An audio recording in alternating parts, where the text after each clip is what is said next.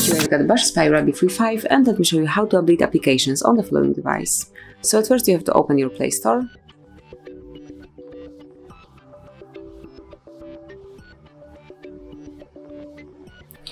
Then just tap on the More icon right here and select My Apps and Games. And here under Updates you will find all applications that can be updated, so simply scroll down and check which applications can be updated. And for example, you can either update one particular application, for example Google Drive, by tapping on Update icon right next to the application name and just give it a couple of seconds. At first the latest version will be downloaded and then install. Meanwhile you can observe the progress right here and also use your device in a normal way as it will be done in the background. But then if you will go back to Play Store, you will be able to come along with the progress. As you can see now it's being installed, so we have to wait a couple more seconds.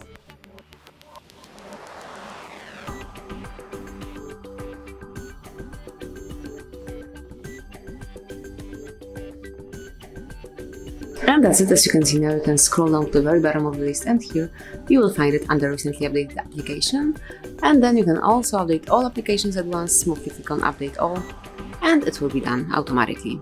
So actually that will be all so you can smoothly and easily update applications in your device. Thank you for watching, please subscribe our channel and leave the thumbs up.